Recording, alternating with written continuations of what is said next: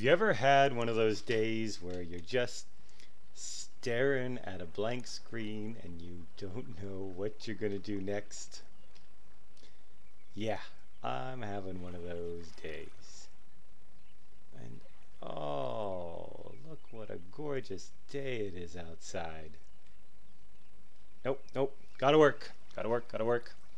Tick, tick, tick, tick, tick, tick, tick. And in conclusion,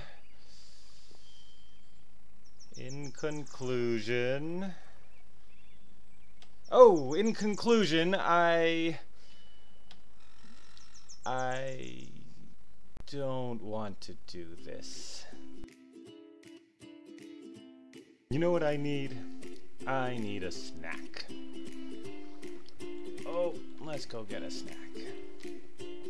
Yep, as soon as I eat, I should be able to finish this no problem. Oh, I think I was... Yeah! Fresh baked cookies.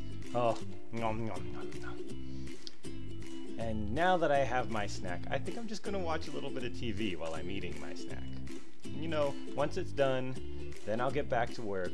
But for now, I'll turn on the TV and I'll just stay here a little bit while I'm eating my snack.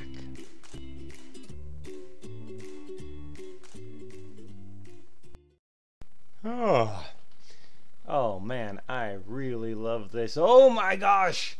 What time is it? Ah, quick, TV off. Gotta go work. Oh boy, oh boy, oh boy. Okay, I can do this. I can do this.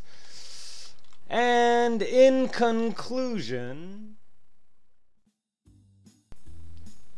Welcome back to Mindless Minecraft, everybody. I am Johnny Knowing, and as you may have guessed, today's episode is on procrastination. and procrastination is one of those things I've been asked so many times about, and I wish I knew the answer to. So today I'm going to tell you what I know about procrastination and what that knowledge can do to help us out in the future. And as always, I like to start out with taking a look at our brain. Ah, yes, the brain. What a great, complicated little organ it is. So, today we're going to be talking about one part of the brain in particular, and that's the amygdala. And the amygdala is down in the back and kind of in the middle. So, something to remember about the brain is that evolutionarily speaking, it developed from the bottom back forward. So, uh, lizards and those things have the brain stem and then kind of the back part of the brain. As you go up the developmental ladder, um, you, we ended up developing the middle part of the brain and then the forward part of the brain. And finally, the newest part of the brain is this part right here, which is the frontal cortex. And the frontal cortex is going to be a big player soon. But for right now, we're going to look at the amygdala. Ah, the amygdala. It's such a happy little part of your brain that's sitting here jazzing away. For our purposes today, the amygdala is involved with feeling good. When the amygdala activates, it floods your body and your brain with dopamine, and dopamine is just a happy little neurotransmitter. It's the neurotransmitter of feeling good. And your amygdala, because it's part of that middle back part of the brain, it really only knows one thing. It's not too smart. If I'm not feeling good, I want to feel good. And what is it out there that will make me feel the most good? And I'm going to get you to do that. So instead of working on homework, which doesn't feel so good, we're to go watch YouTube, which does feel good. When the amygdala is off, haha, your frontal cortex is on, and it's making all the decisions. But when the amygdala turns on, it starts messing with your frontal cortex. It is a really powerful part of your brain. Even though you're like, I know that I should be doing work, your amygdala says, yeah, but that doesn't feel good, so I'm going to make you think that this other thing is a good idea.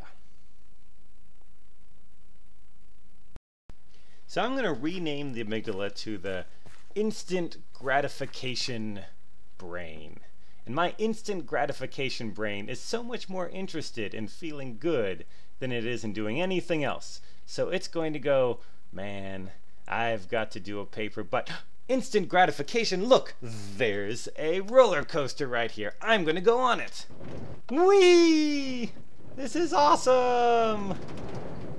Oh, I'm so instantly gratified. And then as that starts to wear down, you start saying, huh, I should really be doing my paper right now. And because of that, because of this guilt that you have, you're not actually enjoying this great roller coaster. You are in the dark playground, where fun cannot be had, even though that's all you try to do because it is just riddled with guilt.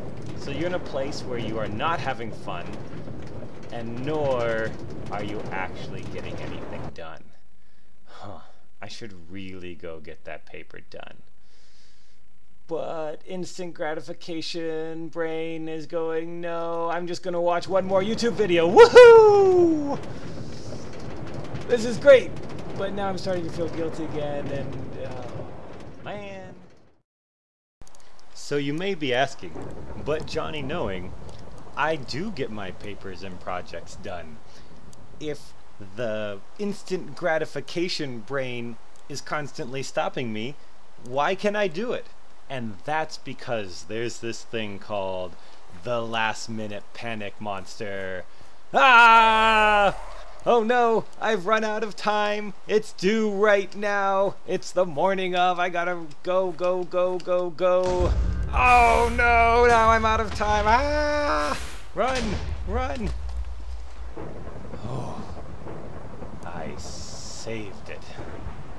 That was a close one. I am never doing that again.